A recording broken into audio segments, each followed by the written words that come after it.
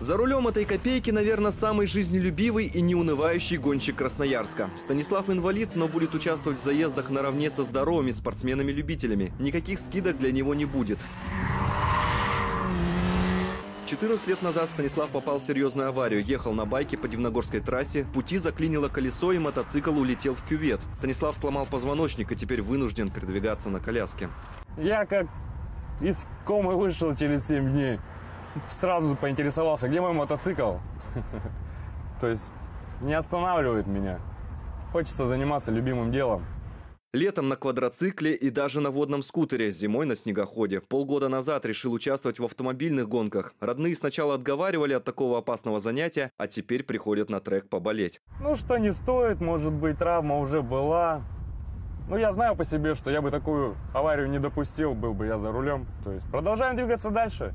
Станислав приобрел себе копейку 77 года выпуска и переоборудовал ее под себя. Больше 100 тысяч понадобилось вложить в машину. Более того, пришлось ехать в другой город, чтобы установить специальное управление.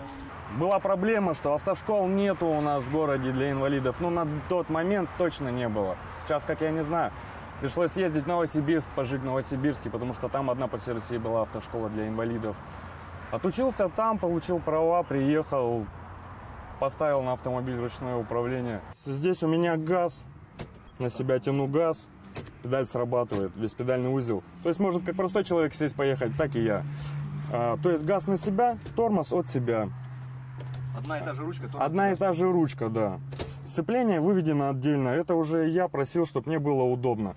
Я выжимаю сцепление, оно у меня идет с блокировкой.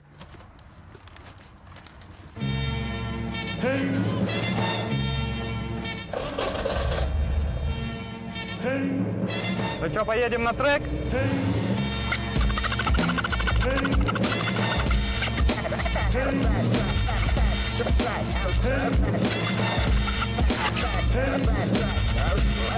Тренируется начинающий гонщик на треке два раза в неделю. Говорит, приезжал бы каждый день, но это слишком сложно в его положении. Скоро гонка, и Станислав уверен, что его капот пересечет финиш далеко не последним.